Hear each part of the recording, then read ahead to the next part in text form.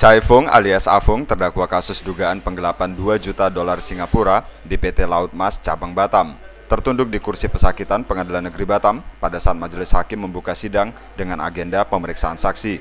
Pada persidangan tersebut, jaksa penuntut umum Samuel Pangaribuan dan Ari Prasetyo menghadirkan lima orang saksi. Menurut Santi alias Sun Kim dari accounting PT Trakindo yang dihadirkan sebagai saksi, menerangkan bahwa PT Trakindo bekerja sama dengan PT Laut Mas dari tahun 2012 dan PT Laut Mas adalah customer terbaik untuk PT Trakindo. Bahkan saksi menjelaskan dirinya bekerja di perusahaan tersebut karena Chai Fung menginterview dirinya.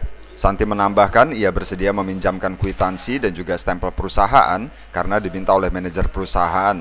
Dan Chai Fung beralasan untuk melengkapi dokumen intern di perusahaannya. Usai mendengar keterangan saksi, majelis hakim kemudian menunda persidangan dan kembali dilanjutkan pekan depan dengan agenda yang sama, pemeriksaan saksi. Tim Liputan Diamond TV melaporkan dari Batam, Kepulauan Riau.